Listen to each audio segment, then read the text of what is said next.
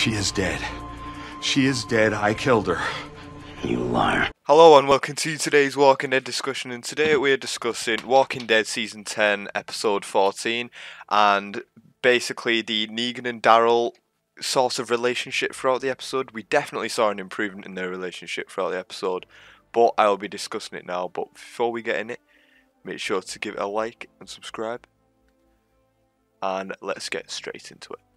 So yeah, we're going to discuss the Negan and Daryl relationship throughout the episode. It was a bit of a fluctuative one, I think that's the word, or fluctuating. You know, at first, uh, Daryl wanted to kill Negan, he had a crossbow pointed at him, but at the end of it, it seems like they were bonding in a way.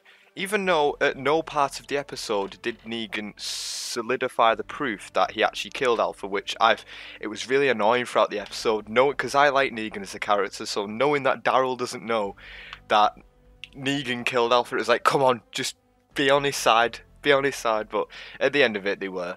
With the whisperers bit, I really did expect that when he when Negan had the gun pointed towards the um to to Daryl, I was like, he's not going to do anything to Daryl. He's going to shoot the whisperers. I'm guessing it was quite obvious. It was. I mean, it was fairly obvious he wasn't going to shoot Daryl, and I bet a few people actually thought he turned on the group and turned on Daryl and was going to kill Daryl, but no, that did not happen. But yeah, I'm glad the episode. Well, it was a great episode in my opinion. Not the best of the season, but it was a fantastic episode. Uh, I think the best of the season was the one at the beginning with uh, Lydia and Negan. I feel I feel like that was the best one. Leave it, leave your thoughts in the comments below. I want to know what your favorite episode of the season has been so far. Since we've got one more episode left, which is going to be very sad. I I might do a reaction video of it. I'm not sure yet, but I might do.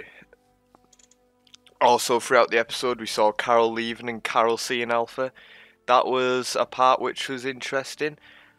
I didn't get some of the parts of it, but it was an interesting part seeing Alpha still haunting Dar- uh, still haunting Carol because she should have killed it, her. She should have killed her earlier.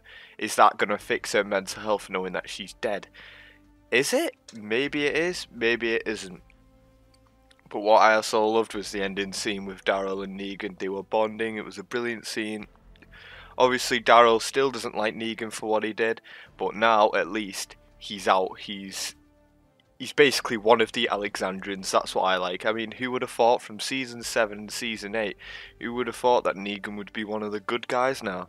But yeah, he is. I also think in the future he's going to witness Michonne's death, but that's just going off the comics.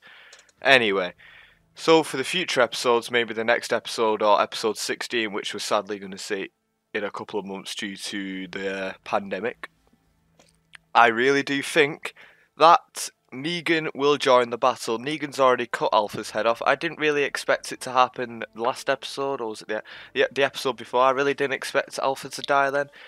I expected it to be in about episode, well, this episode, episode 14, but no.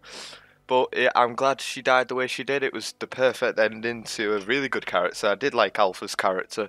Obviously, not her personality, but I did like her character. It was a really good one, and it was a great ending for her. Negan was clearly, clearly he's distressed by killing Alpha. He even admitted it to Daryl. He liked it because he was out in the open. He felt accepted, but he was made to do strange stuff, and Beta didn't like him. And I think at the end of it, if uh, Alpha didn't die, I feel like Beta would kill Negan for some reason.